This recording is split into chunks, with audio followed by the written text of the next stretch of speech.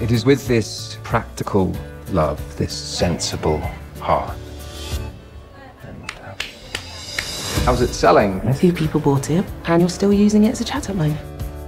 Henry, your book is number one I knew, I knew it. in the official Mexican fiction chart. Well, Here I go. Oh my lord, I know it's hot. I, I mean, I don't speak a word of Spanish. They had it translated. Thank you. I translate for you. I'm the translator of your book. Okay. Okay?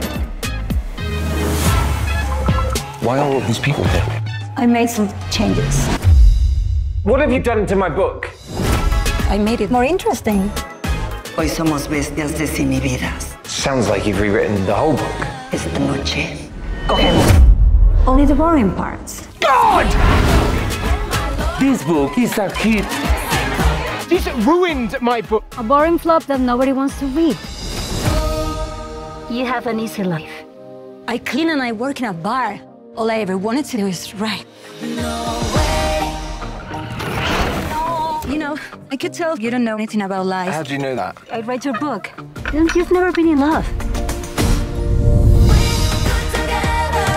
Everyone seems to like your ideas better than mine. And even though my name would never be on the cover, I thought we were a team. We are a team.